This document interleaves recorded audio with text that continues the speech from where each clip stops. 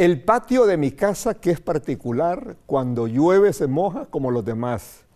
Así decía aquella vieja canción que nos servía para hacer las rondas infantiles con las que nos divertíamos a finales de los años 50, dando a entender que todos vivíamos en un vecindario en el que todos éramos una especie de gran familia, que compartíamos las casas y hacíamos causa común con nuestros problemas y preocupaciones. El dolor de unos era el de todos los vecinos y cuando unos celebraban, todos los demás celebrábamos. Eran años maravillosos, aquellos, cuando, aún no existía la teoría de la solidaridad pero hacíamos algo mejor, la practicábamos. Los hondureños ya éramos solidarios porque aprendimos desde aquellos años a estirar la cobija para taparnos todos. En este tono queremos expresar nuestra complacencia por el despliegue solidario que ha extendido el gobierno de la República con los hermanos hondureños que acogidos el TPS saben que el estatus temporal llega a su fin en enero del 2020 y que para entonces deberán optar a otra condición legal para seguir viviendo en el gran país del norte. El TPS no tendrá más allá de aquella fecha. Pero nos complace ver todo el afán solidario que están demostrando las autoridades de gobierno para ayudarles a los compatriotas que de una u otra forma regularicen su, estadía, su estadía legal. Como lo sugerimos el pasado viernes, el gobierno se ha constituido con todos los consulados y funcionarios de la Cancillería en toda una fuerza de tarea de cooperación para los compatriotas, trabajando horarios intensivos para atender toda la demanda de ayuda. El hecho es que ningún hondureño debe dejar pasar un solo día a partir de ahora. Deben ir sin temor a los consulados que estarán trabajando horario extendido para dar atención. Nos complace que desde aquí sintamos la preocupación de los hondureños que viven en Estados Unidos porque aunque vivan en territorio extranjero, para nosotros cualquier comunidad de hondureños que radica en otro país es una especie de extensión de nuestro país.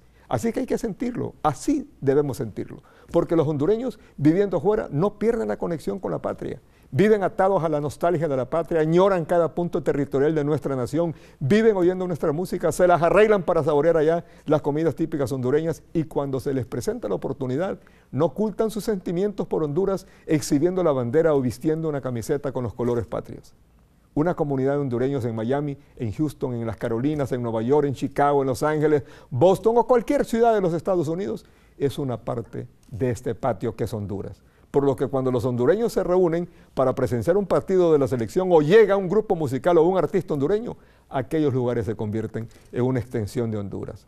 Como decía la vieja canción, una especie de extensión del patio de nuestra gran casa, nuestra gran casa que es Honduras. Los hondureños saben que legalmente pueden vivir en Estados Unidos como si fuera el patio de su casa, sin ser su verdadera casa. Pero para lograr esto último, deben, deben fincar su residencia por la ruta legal, que toma algún tiempo, pero que no es imposible lograrlo. Si todo este aparato que ha dispuesto el gobierno trabajando de manera o a manera de una fuerza, como lo sugerimos la semana pasada, logra obtener la respuesta de los compatriotas tepecianos, es seguro que los casi 46 mil hondureños acogidos al estatus temporal podrán alcanzar un nuevo estatus, esta vez permanente, para que puedan vivir legalizados sin el temor de la persecución a que se exponen cuando les rehuyen a someterse al proceso obligatorio de legalización que establecen las leyes norteamericanas. ¿Será más alto el costo del corre y corre huyéndole la migra que el disponer de días constantes para acudir a los consulados a cerrar de una vez por todas los trámites de una residencia legal? Que la pueden obtener si acuden sistemáticamente a buscar la ayuda a los consulados. Hay una disposición absoluta anunciada por el gobierno hondureño para ayudarles a esos compatriotas. Que sean elegibles o no es otra cosa para acogerse a otra oportunidad de recibir legalmente. Pero si esto no fuera posible, el gobierno ha anunciado la creación de oportunidades para que, con experiencia adquirida ya durante todos estos años en uno de los países más competitivos del mundo, puedan desarrollar sus propias iniciativas. Esta es una nueva actitud solidaria que demostramos los hondureños con nuestros compatriotas comenzando por las autoridades de gobierno que están moviendo todas sus fuerzas y capacidades para ayudar de una u otra manera a los cepecianos. Estos hondureños han vivido lejos, extrañando la patria, pero sintiendo que vivían en una extensión de Honduras en aquellos lugares.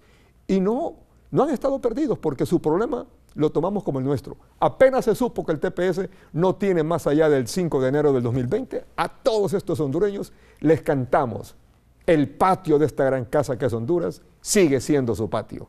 Y si cuando llueve nos moja a todos los que estamos aquí, a partir de ahora nos mojará a todos, a los de aquí y a los que vengan de allá. Así son las cosas y así se las hemos contado hoy, martes 8 de mayo del 2018. Buenas noches.